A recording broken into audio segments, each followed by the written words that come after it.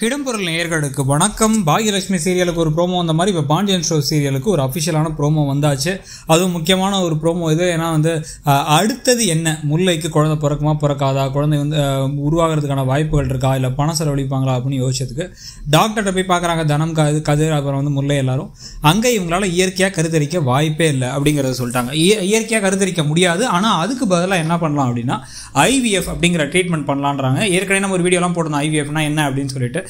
So அந்த ட்ரீட்மெண்ட்டை பண்ணால் வந்து இது பிரச்சனை எல்லாம் சரியாயிடும்.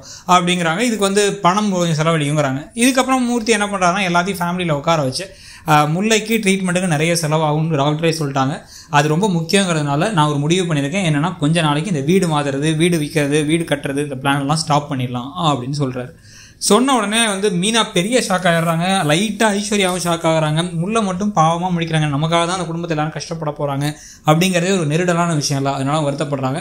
ஆனால் இதெல்லாம் இல்லாமல் எப்படியாச்சும் பாசிட்டிவாக அந்த யாருக்கும் வந்து பிரச்சனை இல்லாமல் இயற்கையாகவே சில விஷயங்கள் அதிசயமாக நடந்தால் நல்லாயிருக்கும் ஆனால் நடக்கும்னு நினைக்கிறீங்களா? இல்லை அப்படி கொஞ்சம் கஷ்டம் தாங்கங்கிறீங்களா? கமெண்ட் செக்ஷனில் சொல்லுங்கள் தேங்க்யூ இடம்பொருள்